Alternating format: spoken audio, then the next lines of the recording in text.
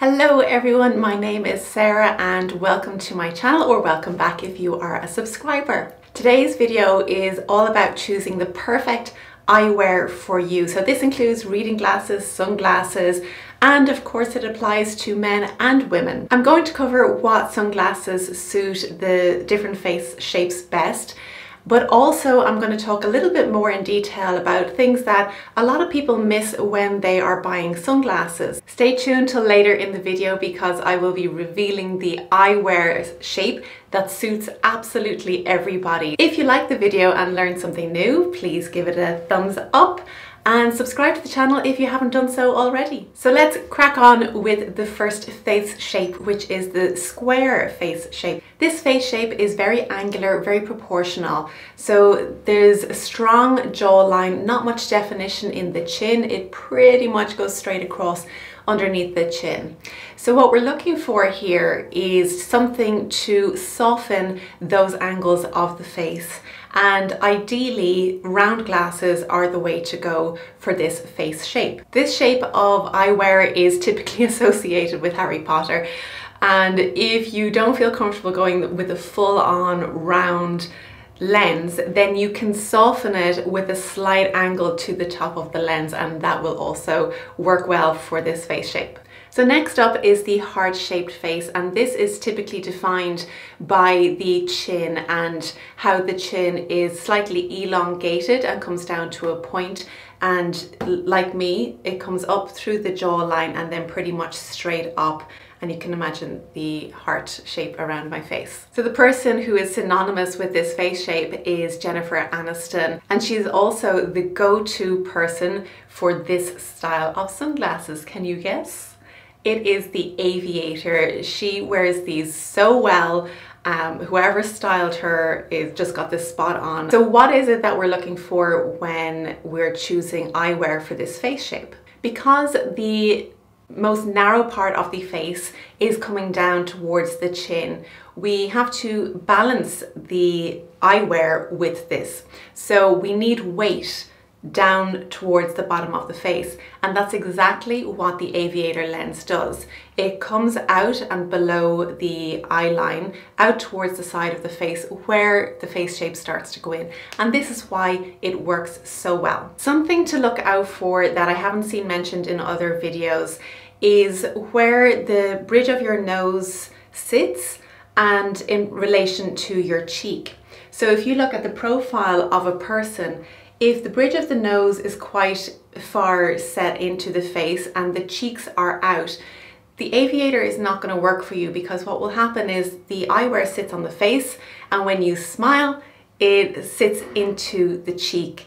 And that's what happens to me with aviators, so I don't tend to wear them.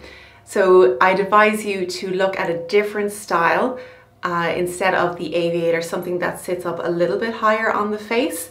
And again, I'll tell you about those glasses that suit absolutely everybody, so that could be an option for you too. Next up is the diamond face shape. So as you can imagine, the broadest part of the face is around the middle of uh, the face where the cheeks are, the cheekbones, and then it gets narrower towards the top of the head and towards the chin. Where we want to add weight to is the top of the face. And the perfect way to do this is with a cat eye lens that kind of pulls up and out. This brings back proportion to the face and it looks really well as you can see on Rihanna here. Moving on to the oval face shape.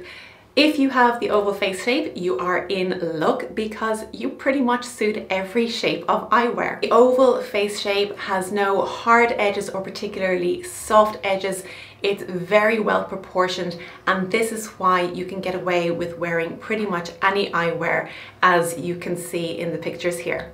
Next up is the oblong face shape. So this is similar to the oval except it is just elongated.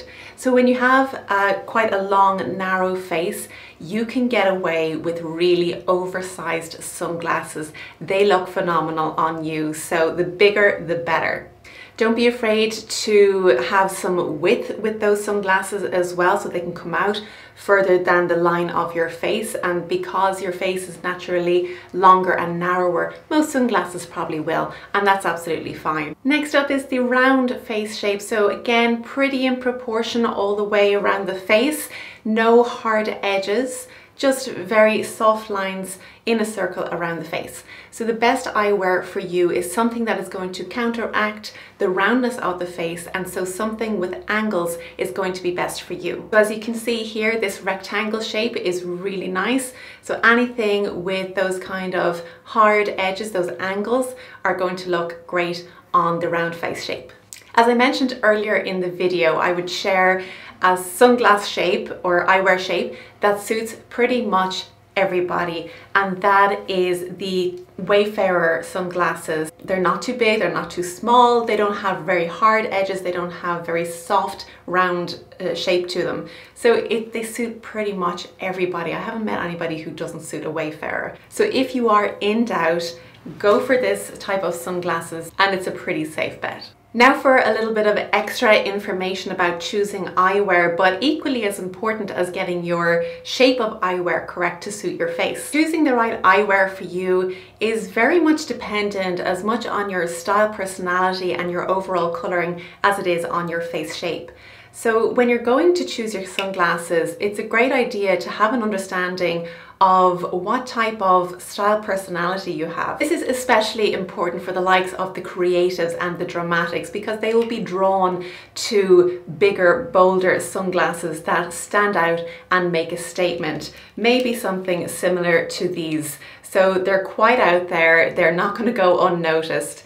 If you are the classic style personality, you might like to play it a little bit safer and go for those classic styles, something that's not too out there, typical Wayfarer styles, so nothing that's going to draw too much attention or stand out too much. You might also consider the occasion that you're wearing your sunglasses for. So I'll share with you a little story when I was buying sunglasses years ago. Um, I was buying a pair that was quite, um, quite out there. Uh, they made a statement. And I was talking to a friend of mine and I was explaining how I wouldn't wear these to a funeral, for example. So I needed a pair of sunglasses that would be suitable to go to such an event. He thought this was absolutely ridiculous, but I didn't want something that was going to be um, drawing attention or, you know, come across as disrespectful um, that, you know, I wasn't dressing for the occasion. And so I thought it was important to invest in a pair of sunglasses that I could wear to such occasions that weren't so out there. Let me know if you have similar thoughts about sunglasses or I'm just by myself here. Another thing to consider when buying eyewear is the colour of the frames and the colour of the lens. So it's really important to get an understanding of your own personal colour palette because it just makes shopping so much easier for, for clothes, for makeup, for hair colours, for eyewear, everything. So once you know this, your whole wardrobe comes together, including your eyewear. So if you are, for example, a summer or a winter colouring, Something with a gold uh, frame to it may not suit you so well. It's also worth considering the lens. So some lenses will have brown to them, which won't suit cool colors, cool undertone people you're better off going for something with black to it. Likewise, if you have an overall softness to your look, those deep lenses are not going to work so well. Instead, you might choose something that has a softness to them, like these lenses here. So these are Ray-Bans I got years ago and I absolutely love them. So it is definitely worth getting to know your colors. If you haven't done a color analysis already, get in touch with me. I do them internationally online. So get to know your colors and then that will make choosing your eyewear really easy. That's it for today's video guys. I do hope you enjoyed it. If you did, please give it a thumbs up, subscribe to the channel, and I will see you next time. Thanks for watching.